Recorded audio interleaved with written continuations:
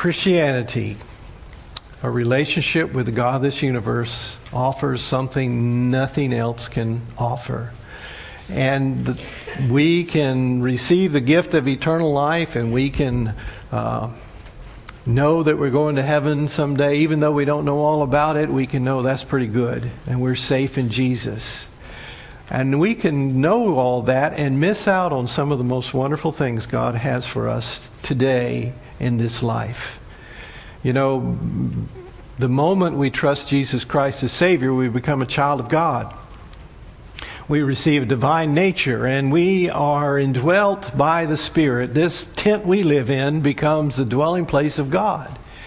And God's presence and God's power brings such wonderful blessings that the world is crying for and searching for in all kinds of ways, but can only be found in a relationship with God through Christ. And Brother Jim, on, on uh, September 7, 1996, he shared a uh, message on God's joy. Now, we, we that last song was is very powerful to me and if you know the background of it many of you have learned the history of it uh, um, the, this this man was a businessman and a strong Christian and uh, he lost uh, much of his wealth in the Chicago fires uh, but he had a wife and he had some daughters. And if a man has a family he's blessed isn't he? And so um, he had to go, they were going to go to England, and he couldn't go with them, right? He was going to join them later. And so the wife and the daughters sailed off to England, and uh, he remained to take care of some business. Well, he got a, a wire um, from his wife, and it came from England, and it says, saved alone. That's all she could wrote. And the word was that the ship in which they were sailing, it, it sunk. The wife was spared, but the daughters drowned and were lost. And so he rushed to New York, got on the first ship he could to go to, uh, to London, and he asked the captain, please, when we go over the spot where uh, the ship sank, would you let me know? And so he was able to go out and think about his daughters who had drowned in that icy grave. And he's the one, and on that occasion, moved him to write that wonderful song, It Is Well With My Soul. And that is the power of Christianity, the power of God in our lives, that in the midst of the most terrible loss and sorrow, that God's presence and God's power and God's love and God's grace can lift us up above those trials and tribulations, and we can have peace, and we can say, It is well with my soul. We can go so far even to say, I have a heart that is joyful. It's not based upon happenings like happiness is based upon a relationship with God and a confidence that He has promised and He'll keep what He has promised.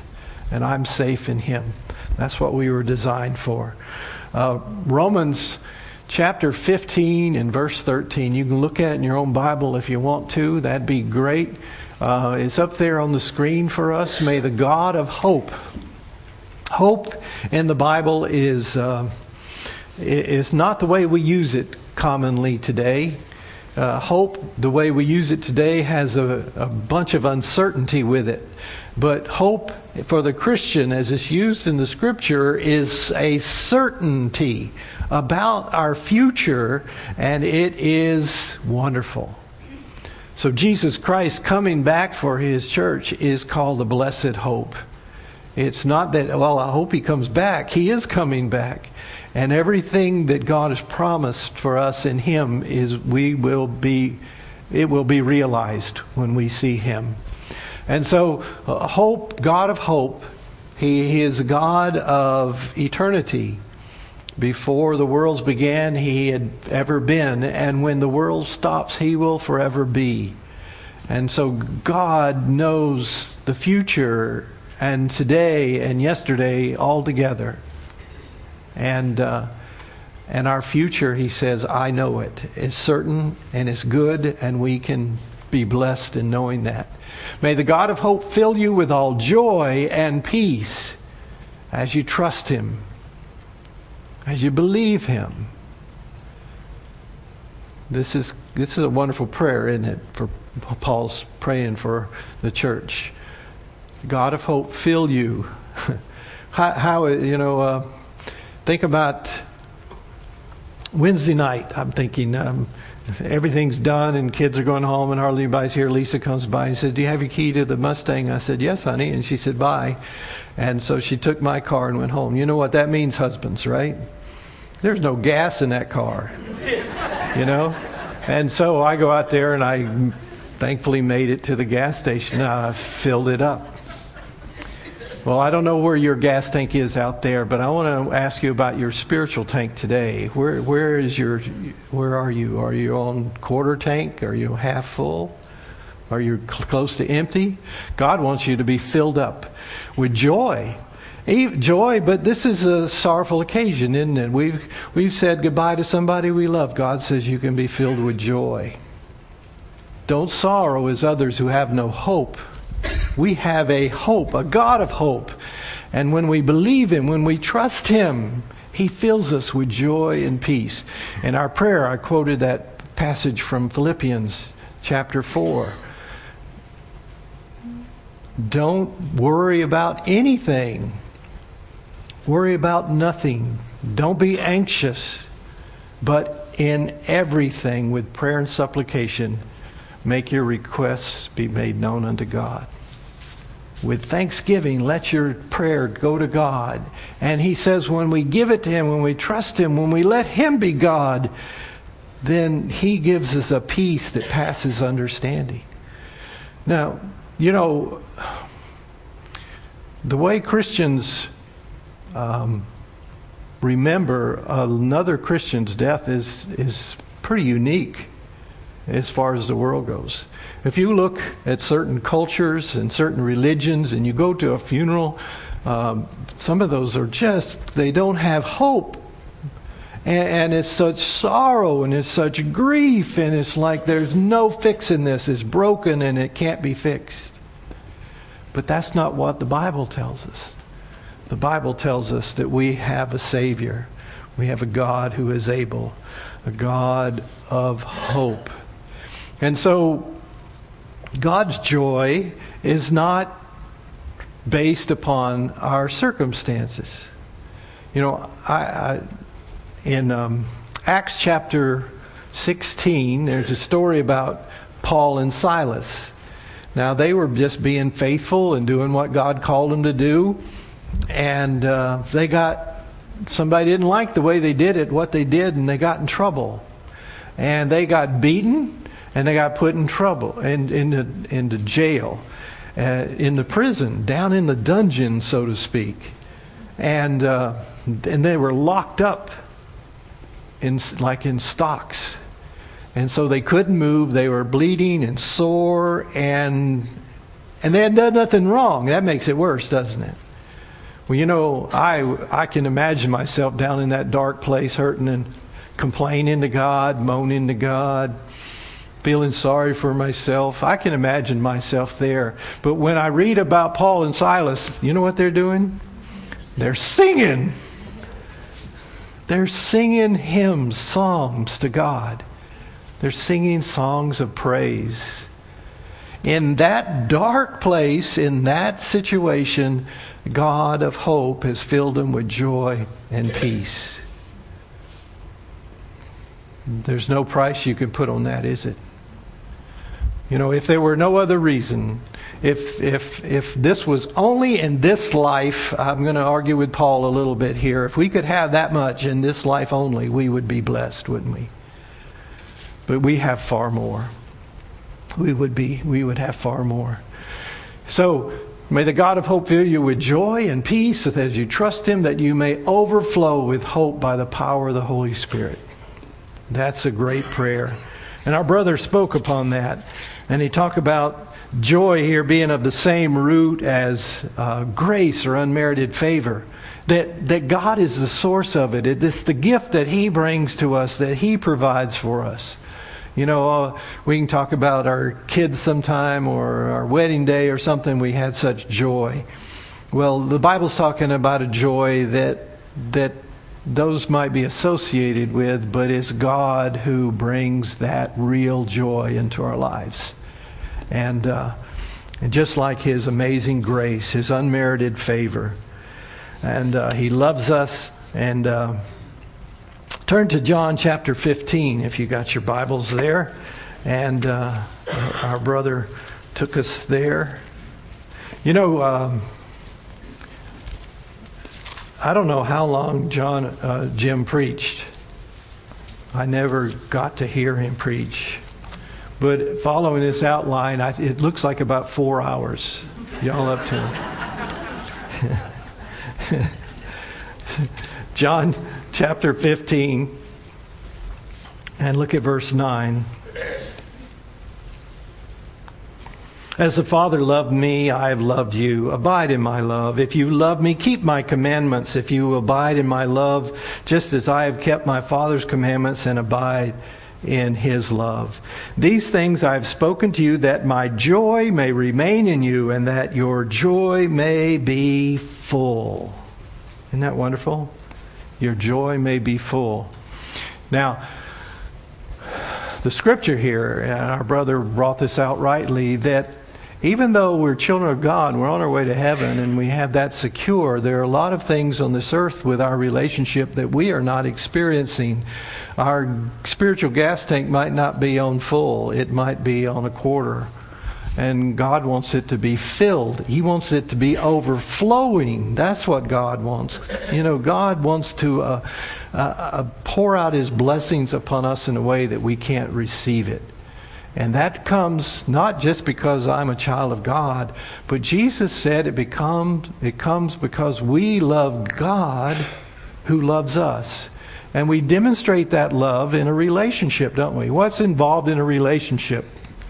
Well, you know, religion is so much easier. There's some religions that give you certain rules to follow, and that's, you know, okay, that's pretty easy, but relationships are hard, aren't they? I mean, they're very demanding, aren't they? I mean, you, you, for a relationship to be good, it, it involves giving, it, calls, it involves time, it, it involves sacrifice, and all that. And God gives us an opportunity to enjoy a relationship with Him today, and that relationship results in joy. It doesn't result in guarantee of good health. It doesn't result in a guarantee of a full bank account. It doesn't um, guarantee children who always say yes, sir, and yes, ma'am. It doesn't guarantee those things. You understand? That's the world we live in. We're talking about an internal blessing and gift that God wants you to enjoy no matter what happens. I would like to see our world go on, and uh, in my lifetime, my children's lifetime, I'd like them to see peace. Would you? Won't you want that for yourself and your family? Peace. But in the world, Jesus said, you'll have tribulation. And uh, Paul said, when we live godly in Christ Jesus, we'll suffer persecution if we're not suffering that, then we're, we're, uh, we're in a little bubble here. It's not the norm for Christians around the world or in time past. But God says that my desire for you, in spite of all those things, is to experience joy. And that comes from walking with the Lord. That comes from knowing His will and applying it in our lives every day. You know, the uh, the Corinthian believers they they were um, they give us a, a, a term that I wish was never involved in Christianity at all. It's called carnality. Um, here were people who were delivered from the penalty of sin, given the Holy Spirit, and they were not living as Christians. And because of that, the Bible says that there was strife and division and all kinds of problems, relationship problems, because they were not following God's will and work in their life. You know, God wants you to have joy, God wants you to have peace. And we can have it no matter what, but there is a responsibility that we have in this relationship. God loved us first. God's salvation is from the Lord, it's not from us. Uh, God has reached all the way down to where we are, and He's done everything we need. But what God has done for us must be believed, and it must be, by God's grace, applied, and it must be used. What did Jesus say? It is more blessed, which is talking about having joy, to give than to receive. You see, Jesus is talking about a way that we can experience this joy in our lives. And that comes from giving. And uh, you're in a church, Bill. If you don't come very often, you probably left because they talked about money all the time. We're not talking about money. We're talking about giving of ourselves and of our time to be a blessing to others, to honor God by loving other people. That's where joy comes in. Not putting me first and surrounding myself with some sort of protective cover so that nobody can hurt me, but reaching out, just like the Samaritan did. He didn't think about what's this going to do to me? What's going to happen to me? He thought, what's going to happen to him if I don't help him? And that's the giving heart, and that's where we can experience God's joy and God's peace. When um, there's a, a, passage our brother used from Nehemiah in chapter 8, and he read the whole passage, and um, but, but I just want to refer to um, verse 10. The, uh, the story is, is that the Jews had been in captivity to Babylon, and God had delivered them and sent them home. And so these folks have come back to their land. Everything is not good, but they're back home where they belong. That's a neat thing, isn't it? Well, they spend a day and everybody gathers together and the scripture is read to them. And the Old Testament is read and is read, and, and to the covenant that they enjoyed with God was blessings and cursings. and they could see as it was read why their people had suffered. And they were filled with sorrow and grief, and they began weeping at the word of God. And the leaders say, Stop. No, this is not a day to be mourning. This is not a day. Uh, elsewhere it says your, your, your weeping is going to be turned to joy. And that's what they said. Go and, and, and feast. Enjoy this thing. This day is sacred to the Lord. Do not grieve. And then he says this wonderful thing the joy of the Lord is your strength. Have heard that before, haven't you? Comes from that story Nehemiah. The joy of the Lord is be your strength. Is your, is your, are you running this life on empty? Are you running half full Christian? God says His joy is your strength. And His joy comes from a yielded relationship with Him. It comes from us loving the God who loved us. It comes from taking His word for us and applying it in our lives. And that relationship, that walk, His presence brings joy. And e- even when we have to say goodbye to somebody who is dear to us, we can experience and know a joy and a peace that passes understanding. I've got joy down in my heart, deep, deep down in my heart. And uh, that joy, God says, is supposed to, He wants it to fill us up and to overflow and bring Him glory and be a blessing to others. But I want you to understand th- this is what God offers to us in this life. Can you imagine the life to come? It's hard to imagine, isn't it? But God does not want us to miss out on any of these things now. He wants you to know that fullness of joy. Please, Christian, talking to you, let God fill you up with His joy. It's there for you. Trust Him. Trust Him. Let's pray. Father, bless this word to our hearts and uh, thank you for our brother and his time in study and his relationship with you. Um, Father, um, Thank you for the promise